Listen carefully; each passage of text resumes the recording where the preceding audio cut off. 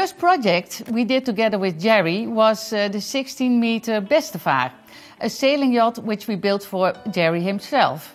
And he entered the transatlantic ocean race with uh, this yacht. The first project we did then was Adix, and then uh, was, of course, a big, one of the biggest schooners private yacht owns basically in the world. On the following up on Adix, we did Adela, and that was probably one of the biggest sort of challenges we all faced at the time. But Gerard managed to turn this schooner into something completely uh, useful again with modern materials and modern equipment.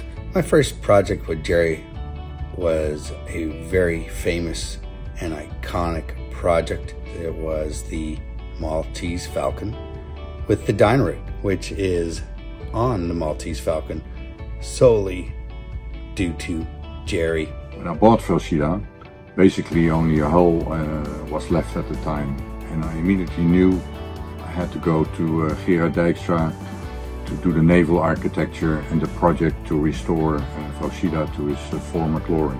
Jerry was, and still is actually, a great sailor. And he was invited by Conny van Rietschoten to sail as navigator on Flyer 1 in the uh, Whitbread Ocean Race. And that was in 1977-78. And Flyer 1 that year on handicap.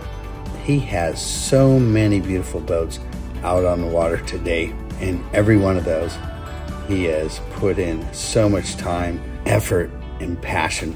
I must say that uh, a highlight uh, in the history of Royal Huisman was the collaboration on the restoration of the J-class uh, Endeavour. The Black Pearl is one of those magic Dykstra designs that is cutting edge, sails like the wind, and handles like a 107 meter dinghy. The last 30 years, the industry has seen a large increase in size of vessels, and that have never been possible without an extensive research and development.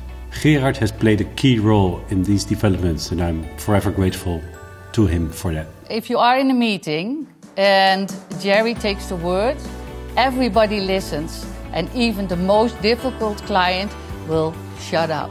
I just think that Jerry is the perfect person to win this award because he is just incredible to work with. He's a legend and a great example for the Dutch boating industry.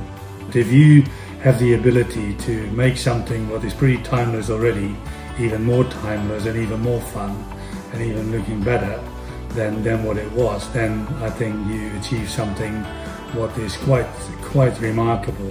Gerard, bedankt. Je bent een waardig voorbeeld van de Nederlandse jacht scheepvaartindustrie. Congratulations with winning this Lifetime Achievement Award. Well done, well deserved. Hope to see you soon.